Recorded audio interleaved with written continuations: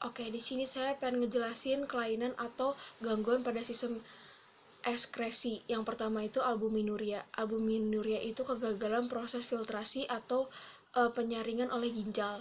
Akibatnya albumin al, albumin lolos dalam e, proses filtrasi sehingga ditemukan di dalam urin. Kalau yang kedua itu ada anuria. Anuria itu ditandai dengan e, tidak terbentuknya urin itu gara-gara glomerulusnya udah rusak.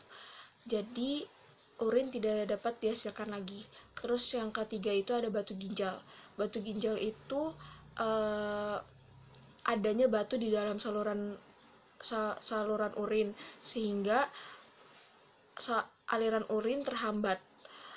Itu biasanya gara-gara suka nahan buang air kecil sama nggak suka minum Nah, yang keempat itu ada diabetes insipidus. Yang uh, seseorang yang menderita diabetes insipidus ini uh, menghasilkan urin yang sangat banyak dan sangat encer. Akibatnya penderita menjadi sering buang air kecil sama haus haus, haus terus-menerus serta ion-ion dalam tubuhnya tidak seimbang. Yang kelima itu ada diabetes mellitus uh, merupakan gangguan yang ditandai urin penderita mengandung glukosa. Hal itu disebabkan tubuh penderita itu mm, kekurangan hormon insul, hormon insulin sehingga proses pembentukan eh perombakan glukosa menjadi glu, glikogen terganggu atau terhambat.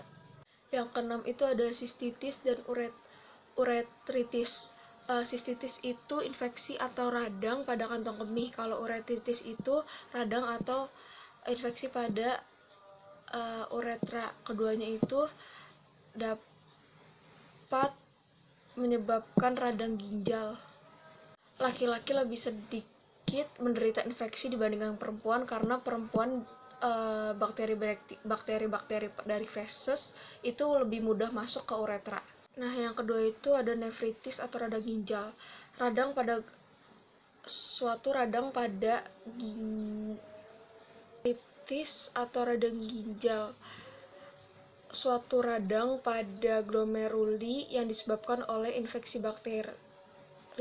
Radang tersebut menyebabkan glomer, glomer, glomeruli tidak dapat menyaring menyaring darah sehingga bahan-bahan dengan bahan-bahan tetap ada di dalam darah.